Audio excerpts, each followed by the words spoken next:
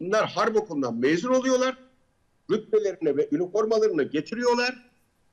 Ve e, Altunizade'de bir yere gidiyorlar. Orada oda, odada üniformalarını giyiyorlar. Rütbeleri ellerinde.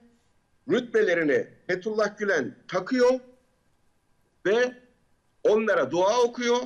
Rütbelerini bilmem şöyle yapıyor. Ellerini öpüyorlar. Bu kimin askeri? Şu anda rütbe takma tö- törenler de yapıldı. Türk Silahlı Kuvvetleri'nde mi? Evet. Herkes onlardan. Göstermelik mezuniyet töreni yapılıyor Türk Silahlı Kuvvetleri'nde. Asıl tören Fethullah'ın yerinde yapılıyor. Rütbelerini rütbelerini Fethullah Gülen takıyor ve bu bir gelenek haline getiriliyor. Daha sonra Fethullah Gülen Amerika'ya gidiyor. Amerika'ya gidince ne yapıyorlar biliyor musunuz? Elinin alçıdan kalıbını çıkartıyorlar. Alçıdan mı, demirden mi neyse.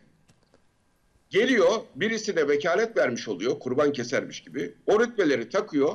Rütbeleri taktıktan sonra rütbeleri takılan subay, subay, sözde subay, rezillik, o eli öpüyorlar.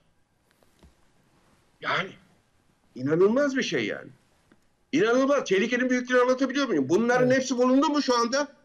Baylok, ankesör kullanmıyorsa nasıl bulunacak? Bu işte bu sınav, sınav yolsuzluğuyla bulunacak. Ben bu işin içindeyim. Açıklıkla da şu anda Türkiye'de Sayın Cumhurbaşkanı'ndan sonra en fazla FETÖ'nün hedefinde olan açık ara benim. Neden? Çünkü ben bu örgütü çözdüm. Şu anda çözümlenen kısmı bütün Fethullahçı yapılanmanın devlet bürokrasisindeki çözümlenen kısmı yüzde beştir. Yüzde doksan beşi duruyor. Ordu'da çözümlenen kısmı da en fazla yüzde yirmi beş, yüzde otuzdur. Bakın söylüyorum size. Genç subaylar kısmını söyledim. Baylok yok. Ankesör de yok. Nasıl çözümlenecek bu? Tehlikenin büyüklüğünü görmek lazım. Ben burada bütün şahsi endişelerden vareste gerçeği milletimize duyurmak istiyorum.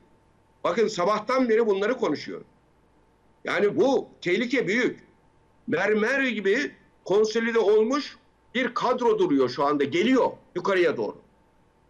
Bu kadro 5 sene içerisinde, 10 sene içerisinde devlet ele geçirir.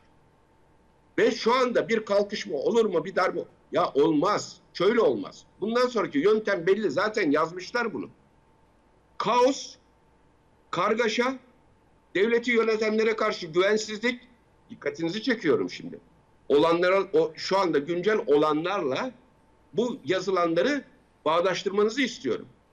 Kaos, kargaşa, devleti yönetenlere karşı güvensizlik ve ondan sonra sivil itaatsizlik eylemleri, devletin yönetilemez olduğu intibanın oluşması ve bir güvenilir adamın iktidara gelmesi işaret edilen. İktidara gelmesi de değil.